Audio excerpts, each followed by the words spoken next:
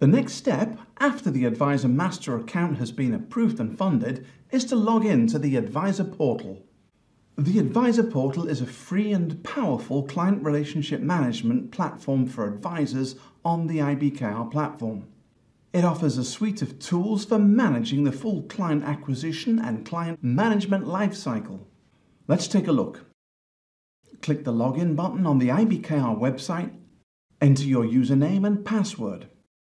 In the main section of the screen, you can see several tabs, the first of which is the dashboard.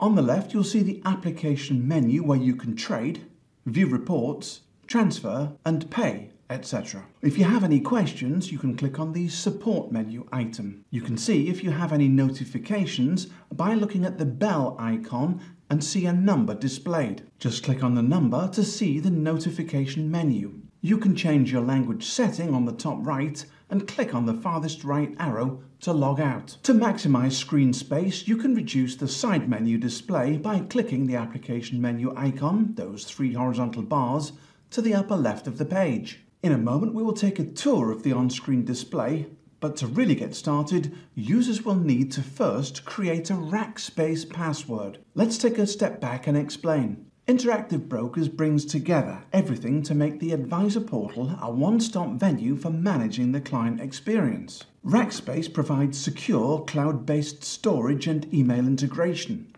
Because advisors may be handling sensitive client documents, those documents, along with all functions associated with the calendar, events, and contacts, must be password protected and only available to you and not interactive brokers. And so the first thing to do is to create a Rackspace password. In addition, you should also consider adding a mailbox to Advisor Portal using Rackspace with your existing email address. Your current email will still work as it does right now, but if you apply to Interactive Brokers for an email box, you will have point and click functionality right inside the Advisor Portal. We'll discuss this further when we talk about the email tab. To create a Rackspace password, from the application menu, click on Settings, User Settings, and from the Login section, locate the item for CRM Rackspace Password. Use the gear icon to create and save your secure password. Remember, by creating this password, users can use calendars, tasks, events, and documents. We will explain email integration later.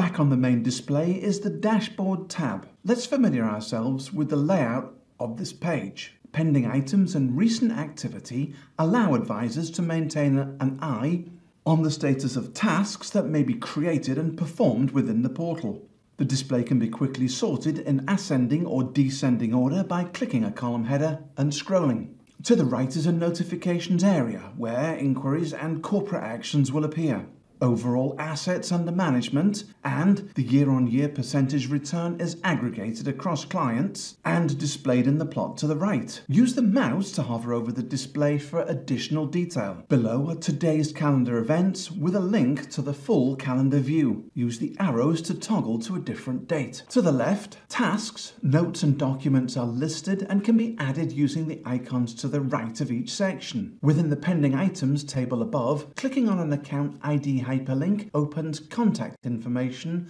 per name or account. The Contact Information tab displays a profile for the client, the configuration setup for the account, and financial information. Above the configuration section are three icons to email the contact, send an electronic invitation to open an account, or to export the contact information. Back at the dashboard, let's examine the tabs to the right. Contacts. This is a directory of all of your contacts that have been added to the Advisor portal. From this area, users may add contacts, configure the page display, and filter the results shown.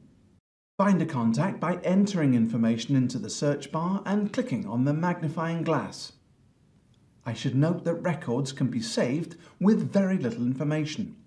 You can save a prospect with only first and last name and can always add more information as the relationship develops. You can drill down on each contact by clicking the icon. Fee Administration. From the Fee Administration tab, users may configure client fees and templates, create invoices, and reimburse fees. Groups. Here's where you can organize your contact records into groups. Transaction history. From the Transaction History tab, advisors can search and view activity for the last 90 days by transaction type, method, and status. Here, users can quickly recall inbound and outbound wires, bill pay items, position transfers, and the status of requests. Calendar. The calendar may be viewed on a monthly or daily basis by using the buttons to the upper right.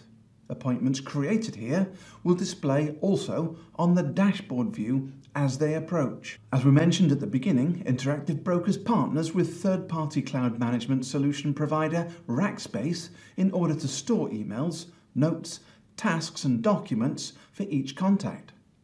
Interactive Brokers neither stores nor has access to that data. When you first look at the Email tab, you will see the following display on screen. Advisors must first request a mailbox hosted by Rackspace before this important functionality can be used. Use the button on the page to request one from Interactive Brokers.